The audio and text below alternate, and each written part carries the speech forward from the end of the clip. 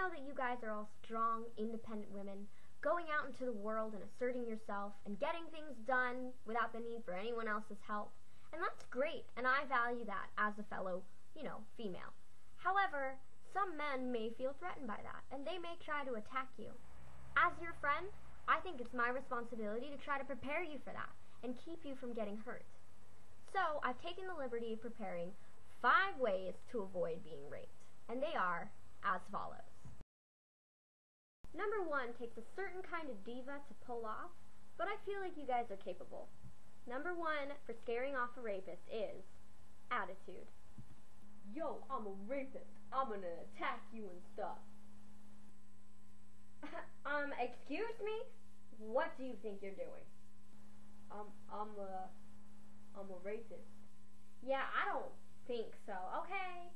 Right, no, uh you need to back the heck up and get out of my business before I get angry, alright? Do you know what I am saying? Alright. Sorry about that. Now, number two, you may not feel like it applies to this situation, but trust me, it will be effective. So, number two for scaring off a rapist stop, drop, and roll. Yo, I'm a rapist. oh no! Stop, drop, and roll. Stop, drop, and roll. Stop, drop, and roll. Whoa, you want us to call like a firefighter or something? Number three is one that I use quite often to scare off people. And it's a classic that I have so classily named The Ugly Face. Yo, I'm a rapist, honey. Hello. Hello.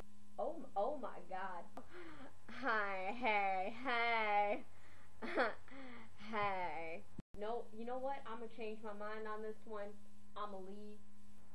Number four, I must say I stole from something else, but it's something that I've seen in action, and it does work. So number four, swiper no swiping. Yo, I'm a rapist. Swiper no swiping! Swiper no swiping!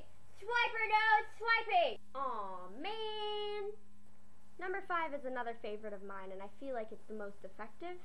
And it is, um, it doesn't have a nice short name, but it does have a name that kind of describes the action, so that you'll never get confused in its application. So number five, for scaring off a rapist, is acting like a bear or dinosaur. It's really your choice. Yo, I'm a rapist. Roar! Roar! Oh my gosh! It's a bear or a dinosaur! Yeah. I'm going in, I'm going in, I'm going in, I'm going in. And I'ma go hard, and I'ma go hard, and I'ma go hard, and I'ma go hard. Obviously, this is just a joke, and I understand that being raped is not something to be joked about, and it's a very serious matter, and I understand that. And um, I hope that as my friends that you guys are sure that you're, you know, you're not walking alone places, you're not walking alone, especially at night in places, especially open places that you're unfamiliar with, or even if you're familiar with it, I want you to be aware of your surroundings. Um, I mean, you know, pepper spray, there's whistles, there's all kinds of stuff that you guys can carry around to to make sure that, you know, if you are ever put in a situation that you can get out of it. I know some of you guys took a self-defense class, and that's really great um, because it's it's serious and it happens and it's scary and it's something that I would never wish on anybody, um, not even my worst enemy, because it's just it's an awful, awful thing to do to somebody.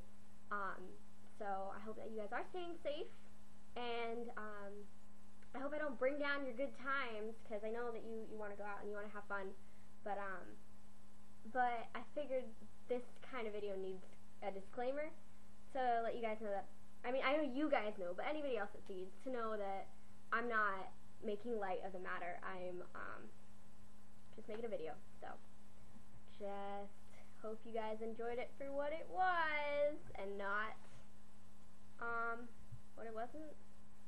I'm not sure where I was going with that. Bye.